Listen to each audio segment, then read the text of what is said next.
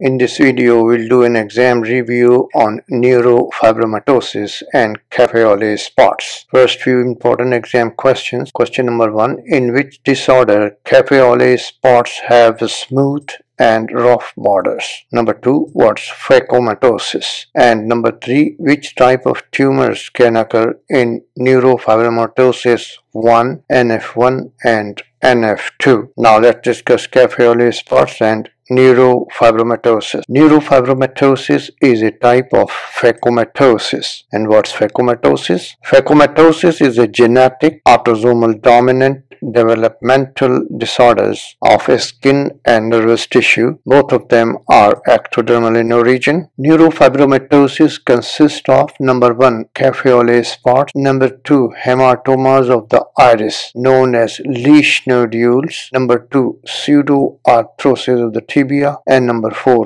neurofibromas. Now let's discuss the café au lait spots. Café au lait is a French word which means coffee with milk. Café au lait spots are flat, hyperpigmented, light to dark brown, coffee-colored birthmarks in the epidermis of the skin. Now the causes of lait spots are number one neurofibromatosis, number two McCune-Albright syndrome, number three tuberous sclerosis, Fanconi syndrome, and Silver-Russell syndrome. Lait spots may have smooth borders or rough. They have smooth borders in neurofibromatosis and rough borders in McCune-Albright syndrome. Now neurofibromatosis. These tumors may may occur all over the body, including skin, bones, eyes, and brain. So what's a neurofibroma? Neurofibromas are benign multiple rubbery tumors and have proliferating nerve tissues, schwannoma and fibroblast in the skin. So they have proliferating nerve tissues, Schwann cells and fibroblast in the skin. Number one, they grow in size and cause pressure symptoms and damage the underlying structure structures. Number two, if they occur in limited space, for example in the intervertebral foramina, they cause radiculopathy or neuropathy. Number three, if they occur in cerebral of aqueduct, they cause hydrocephalus. Number four, if they occur in adrenal medulla, they cause pheochromocytoma. Number five, if they occur in nerve tissue, they may cause epilepsy or they may cause mental retardation. So, neurofibromas may occur in the limited space areas like intervertebral foramina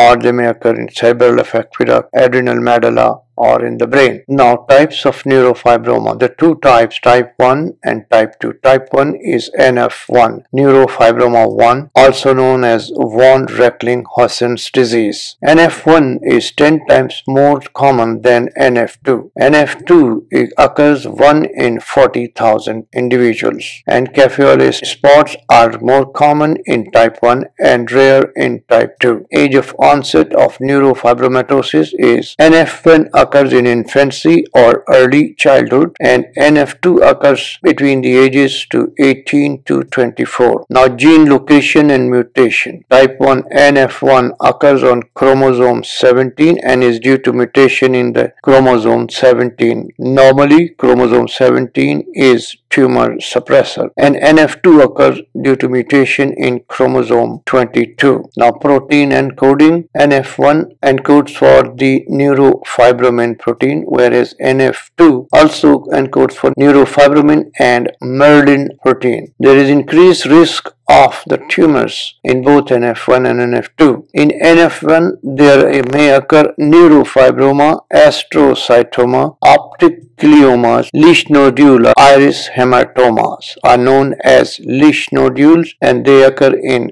neurofibromatosis 1. Pheochromocytoma also occur in type 1 and the malignant tumor that can occur in NF1 is sarcoma. In neurofibroma 2 there may occur bilateral acoustic schwannomas that cause bilateral deafness in more than 90% of cases. And number 2 posterior subcapsular lentiform opacities can also occur in neurofibroma type 2. And the other one that occurs are meningioma, glioma and schwannoma. So in neurofibromatosis 1 NF1 there may occur optic glioma, Lisch nodule or iris hematomas, pheochromocytoma and they may turn into malignancy sarcoma. Whereas in neurofibroma 2 there may occur bilateral deafness. Why? Because of bilateral acoustic schwannomas, 8 cranial nerve schwannomas that cause bilateral deafness and number 2 there may occur in the eye posterior